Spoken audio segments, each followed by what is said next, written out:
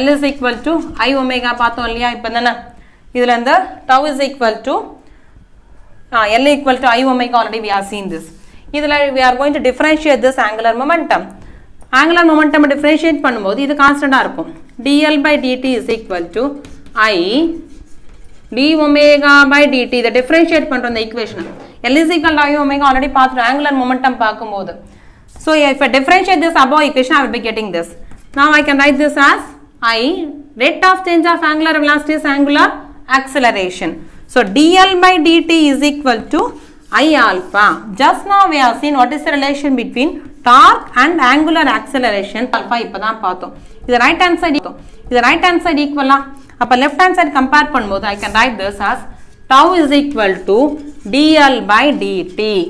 tau is equal to dl by dt. This is the relation between the torque and the angular momentum. So how I can define the torque now? Torque is nothing but rate of change of angular momentum. Tau is equal to rate of change of angular momentum